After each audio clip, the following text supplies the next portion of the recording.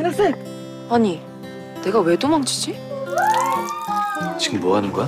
저희 연기 연습 중이었어요.